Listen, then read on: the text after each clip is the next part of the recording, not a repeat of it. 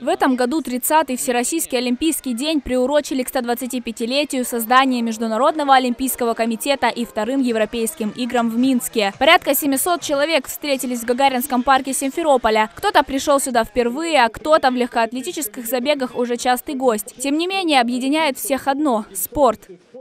Этот праздник э, ну, еще говорит о том, Совета что Крыма. спорт вне политики. Мы готовимся, спорт един, что спорт это здоровье. И такие мероприятия, они, конечно, привлекают и пап, и мам, и детей. Любовь к спорту Игорю Буркацеву пришла в осознанном возрасте. Настоящим культуристом мужчина стал только в 51 год. Сподвигло его на это плохое самочувствие. Вес составлял порядка 100 килограммов. Тогда для мужчины лучшим помощником в борьбе с лишними сантиметрами стал бег. Вес удалось сбросить, а вот любовь к марафонам и спорту живет с ним по сей день. Сегодня мужчина бежит 8-километровую дистанцию. Для меня это зд- здоровье. До 51 я болел. И ноги, и колени опухали, всякие, всякие болезни были. А вот э, 7 лет я в больницу не обращался ни разу, и все перестало болеть. Таблетки вообще никогда, даже простудных нет заболеваний. Для меня здоровье. В сегодняшнем забеге смогли принять участие все желающие жители и гости из разных уголков полуострова, различных возрастов и физической подготовки.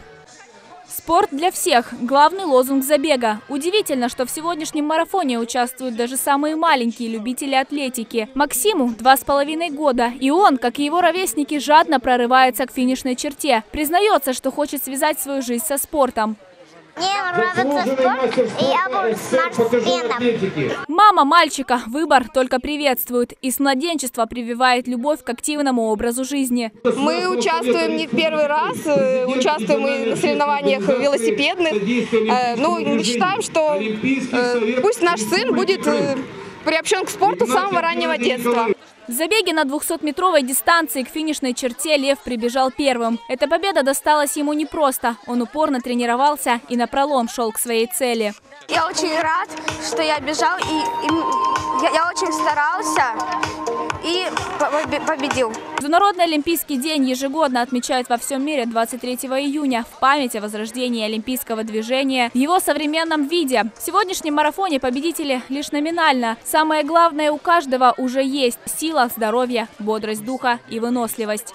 Анна Беляева, Артур Добряков, служба новостей ИТВ.